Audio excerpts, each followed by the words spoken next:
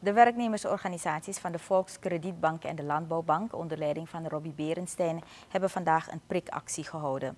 De reden is dat het personeel het niet eens is met het proces dat gevolgd wordt om hun bank eventueel te fuseren met de Postpaarbank. Deze prikactie is gehouden op alle filialen van de banken. Het actiemodel houdt in dat de werknemers pas om 11 uur beginnen te werken. Er is een Tijdens een persconferentie vandaag op de VCB gaf Berenstein aan dat de bond niet goed geïnformeerd is over de gang van zaken. Hij verwijst naar de eerdere fusie van de Landbouw en de VCB-bank, waarbij de werknemers en de bond vroegtijdig geïnformeerd waren over het proces. Volgens de voorzitter moet hetzelfde pad bewandeld worden. Hij maakt zich ook zorgen over het moment waarop de fusie is aangekondigd. Is niet één ding dat over één nacht ijs gaat. Toch? Dan ga je midden in dat proces ons weer confronteren met een andere fusie. Laat me beginnen te zeggen dat we niet tegen fusie zijn. Dit proces toont ons, en daar heb ik het over, dus Landbouwbank VCB, toont ons dat fusies voordelen hebben. Sterkere organisatie, voor een bank betekent een groter vermogen, je kan meer dingen doen. Dus, dus niemand hoeft ons daarover dingen uit te komen leggen, de voordelen. Maar het kan alleen maar zijn maximaal voordeel hebben als hij op de juiste manier wordt uitgevoerd. Ja? En daarbij moeten alle geledingen betrokken worden.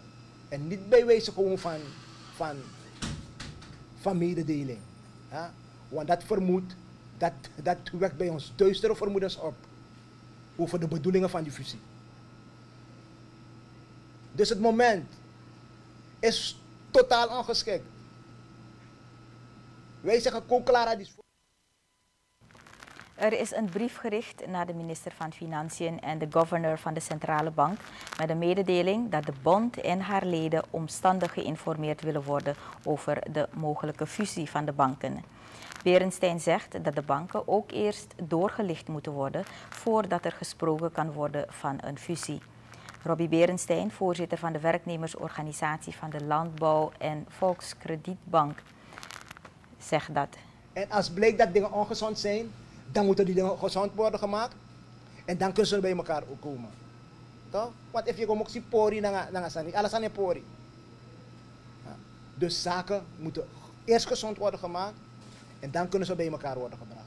Dat is ook gedaan in het geval van de Landbouwbank en de VCB. Ja. En we horen, we horen dat men daar niets over zegt.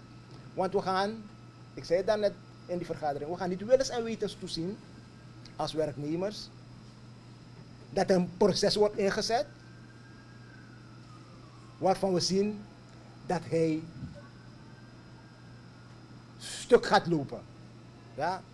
Dat, weet je, Gonaki, om het zo uit te drukken. Dat gaan we niet doen. Al dus Robbie Berenstein, voorzitter van de werknemersorganisatie van de Landbouw bank. De bond heeft vandaag een prikactie gehouden om duidelijk te maken dat ze het niet eens zijn met het proces van een eventuele fusie van de banken